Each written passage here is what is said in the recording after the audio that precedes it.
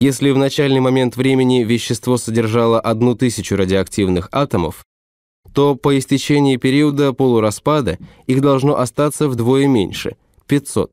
В данном случае это время равно 5 минутам.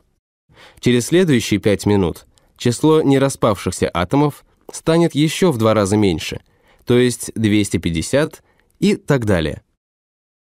Закон радиоактивного распада характеризует всю совокупность атомов. Этот закон позволяет определить число нераспавшихся атомов в любой момент времени. Выражение для вычисления числа радиоактивных атомов через n периодов полураспада и есть закон радиоактивного распада. Чем больше период полураспада, тем медленнее происходит распад, тем дольше живет радиоактивное вещество.